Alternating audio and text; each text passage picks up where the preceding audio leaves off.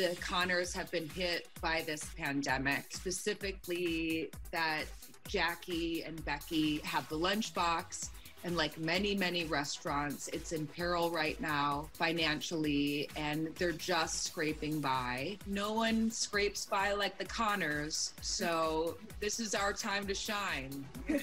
Man, restaurants are dropping like flies. I'm not letting anything happen to the lunchbox. Laurie, how does your character, Jackie, deal with quarantine? She's not good at isolating, so she's uh, over at the house, you know, like much more often than usual. What can we expect from Becky? She's still a recovering alcoholic who has a one year old, and her baby daddy, who was deported by ICE back to Mexico, has snuck in, as we know, last season illegally. Laurie, uh, Katey Sagal joins this cast this season as John Goodman's new girlfriend. That was kind of brilliant by the writers that uh, they set it up that our characters went to high school together. Jackie was very jealous of Katey's character, Louise. We butt heads quite a bit, you know, on the show, which is always a lot of fun. Don't forget this door. It's a bathroom used by six people.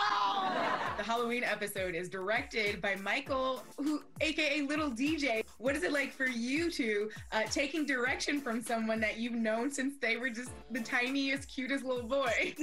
well, it was awkward for me because I'm used to pushing him around, so I didn't appreciate him trying to push me around all of a sudden. No, it's a complicated show, the Halloween show. There's always more costumes, it's more elaborate. And the fact that Michael not only landed that one ha- on happenstance, but also did such a great job.